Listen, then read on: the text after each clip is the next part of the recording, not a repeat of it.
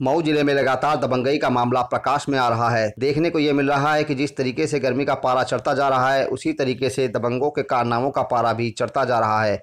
इसी कारनामे की कड़ी में एक बार फिर दबंगों ने ऑटो चालक पर अपनी दबंगई का कहर बरपाया। पीड़ित ऑटो चालक नसीम अहमद के अनुसार वह हल्दरपुर थाने के रतनपुरा से वापस लौट रहा था कि रास्ते में ही गलत साइड में आ रहे एक युवक ने पहले तो उसे ऑटो से टक्कर मार दी, इसके बाद वह अपनी गलती होने के बाद भी दबंगई करने लगा। उसने गाली गलौज करते हुए पहले ऑटो में तोड़फोड़ की, इसके बाद भी उसका गुस्सा शांत नहीं हुआ तो उसने मेरे पैर को सड़क के किनारे पर स्थित हैंडपंप पर ले जाकर तोड़ दिया और चला गया। इसके बाद चालक ने पुलिस को घटना की जानकारी दी। जानकारी के बाद पुलिस उसको इलाज के लिए जिला अस्पताल में भेजकर दबंगों की तलाश में जुट गई है।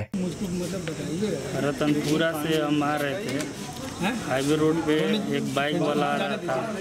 अब अपना इंडि- इंडिकेटर चालू किए थे। गाड़ी साइड में आगे पीछे देख के सोचे कि पास करेंगे तब तक वो ले करके हमारे टेंपू में घुसा दिया बाइक उसको पेपर देने जाना था। और मारने भी लगा टेंपू उलाट रहा था। तेज आ रहा था वो। हाँ बहुत स्पीड में सौ सौ के आसपास स्पीड थी उसकी बाइक की। उसको पेपर देने जाना था। अब वो देने के चक्कर में ब्रेकर था क्या था वो लेकर हमारे टेंपू में घुस गया।